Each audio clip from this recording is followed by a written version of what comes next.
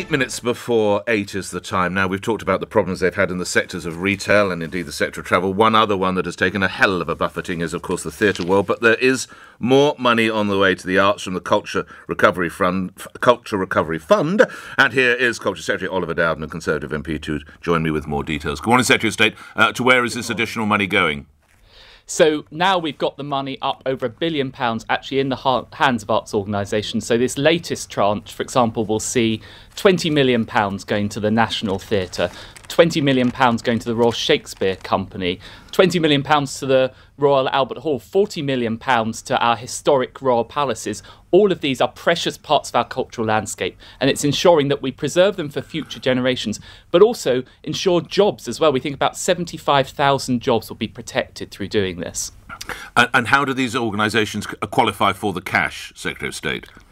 So they went through a, a, process. If you remember, a few months ago, I announced the one and a half billion pound cultural recovery fund, uh, and we we set up a committee uh, chaired by Damon Buffini, a very experienced uh, person with experience in banking and so on, who went through and rigorously scrutinised all the applications to make sure they were value for money and delivered what, what we, we wanted to do with this, which is to save our precious cultural heritage. And we're also now saying that from today we'll announce the final further tranche of £400 million, which will help in this next phase, which is what I hope to see is through spring and summer, we'll see a reopening of our cultural institutions, and this money will help them on that path. Well, I'm sure we'd, we'd all echo that. While I have the Ben of you with me, just a couple of questions on, on other matters. You seem to be getting into a war of words with one of the stars from The Crown. Josh O'Connor, who plays Prince Charles, says that your request for Netflix to show a disclaimer on the programme, which one has to say does to be far more seems to be far more fiction than it is fact, uh, is a low blow, particularly at a time when the arts are struggling. Secretary of State.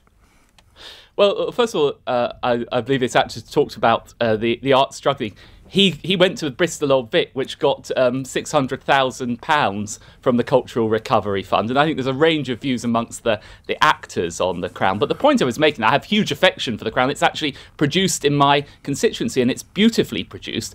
But it is the case that it's a work of fiction.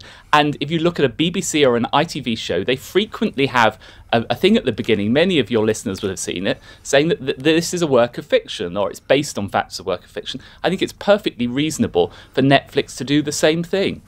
Um, talking of the BBC, one of the former veterans there, Andrew Neil, claims that the Martin Bashir documentary set a chain of events in place that led to Diana di- the death of Princess of Wales after the paranoid princess got rid of her security detail. Secretary of State, what needs to happen with the BBC and this Martin Bashir inquiry? Well, I think it needs to be taken exceptionally seriously, and I'm very glad to see that Tim Davie, the, the new Director General, has appointed a former senior judge to carry out a rigorous investigation into it. I think we should let that rigorous investigation happen and then see what the consequences of that are. But could Andrew Neil be right in what he suggests, that this could have fed the paranoia of the late Princess of Wales? Well, well, let's get to the, the facts, and that's why this uh, senior judge has been appointed to, to look into it. I don't think it would be helpful for me to speculate until we find exactly what's happened. Everyone's speculating about what might or might happen on Sunday. Obviously, you're closer to the information as regards the post Brexit world between the EU and the UK. Now, the former Australian Prime Minister Malcolm Turnbull has said last night Australia's relationship with the EU is not one from a trade point of view that Britain would want, frankly. You've, as in the UK, chosen a very courageous time to leave the largest free trade zone in the world. So, an Australia style solution, which is really a no deal Brexit, it's not what we really voted for, is it, Secretary of State? Well, I would much prefer that we had a free trade relationship with the European Union like that that we have uh, Canada has with the European Union. But that can't be achieved at any price. And there are two areas of significant difference that remain between us. It is worth saying, by the way, the Cabinet was briefed on this uh, yesterday and we discussed it extensively. We are 90% of the way there, but the, the remaining areas are quite tricky. First of all, there's no country in the world that doesn't retain control of its sovereign waters, its fishing uh, rights. So we, we need to see some movement on that. And secondly, there's no other free trade deal in the world, whether that's a deal that EU has done with Japan or that they've done with Canada, which says that if the EU chooses to change its regulations, the other country, in this case the United Kingdom, would have to follow suit or face the consequences. And the, the fear that we have is that will keep Britain in the sphere of influence in the European Union and mean that we haven't genuinely left. So that's why the Prime Minister is remaining firm on those points and has the full backing of the Cabinet in doing so. But, but how embarrassing is it the Prime Minister refers to an Australian style deal and the former Australian Prime Minister saying it's not something you'd want, you'd be very courageous to take it on, Secretary of State? Well, as I said, our preference would be that Canada style deal, but it can't be achieved at uh, any price. It's interesting, for example, today that the, the Labour Party seem to be indicating that, that we should accept this. Well, I don't think we should accept those kind of terms. Appreciating your constituencies just on the outskirts of London, how close are we to a possible Tier 3 placing for London? And might we be looking at testing as well of school children in counties such as Kent, Essex, and possibly Hertfordshire? Well, on the two points, first of all, in relation to the, the tiering, uh, your listeners will know we set out the tiering, the, and uh, in the run up to the 17th, as we will do uh, periodically, we'll assess where the evidence is and see whether those tiers remain in the right place or whether we need to increase or, or decrease the level of tiers. Obviously, I very much hope that uh, London doesn't have to be uh, increased to tier three, but we will have to act on the evidence. On the point about testing, uh, this is a really important area, and many of us, and myself, I have to remind myself of this, that one in three people who have COVID are asymptomatic. They aren't showing any symptoms. And that's why testing is so important and why we're rolling it out to schools so we can identify those kids that have COVID and aren't showing the symptoms so then they can self isolate and we can stop the disease uh, spreading further. Was it a mistake to open the schools when the government did then, on, with hindsight, Secretary of State? Uh, no, not at all. Uh, I mean, I have school age children myself, and I'm sure many of your listeners do as well. We saw how terribly difficult it was for them not being at school. It's vital, particularly for kids from deprived backgrounds, to get into school, and that's why we prioritised it. A um, couple of last points. Are football spectators wrong to boo or jeer when players take the knee prior to kick-off?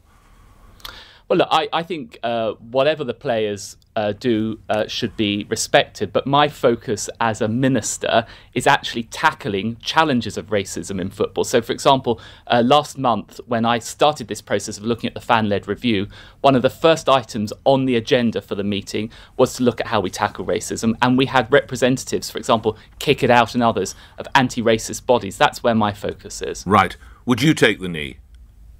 Uh, no, I, I wouldn't choose to take the knee myself, but I perfectly respect other people that, that, that choose to do so. My focus as a minister is actually on tackling some of the remaining challenges of racism. For example, I, I found extraordinary some of the evidence that I heard that actually the number of black managers is now lower than it was 20 years ago. Now, there's huge talent uh, amongst the black players. That should be translated through to the leadership of football.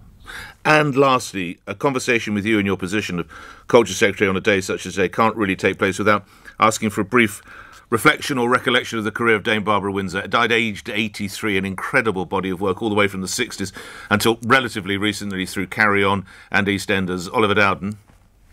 Well, I, I, think we can safely say that Barbara Windsor was a national treasure. I grew up on the Carry On films, as I'm sure many of your uh, listeners did, and they brought so much joy to so many people. And then, actually, as a member of Parliament for uh, BBC Elstree, I, I say I'm the MP for Albert Square, and I think I can safely proclaim that Barbara Windsor was the finest landlady the Old Vic ever saw. And then in later life, she's done great work campaigning on dementia, so she will really be be sorely missed. All right, grateful for your time, Oliver Dowden. Thank you, Secretary of State, Culture media and sport appearing here on LBC, where at 8 o'clock the news is next with Thomas Watts. On your radio, on Global Player, and Play LBC. Leading Britain's conversation. This is LBC.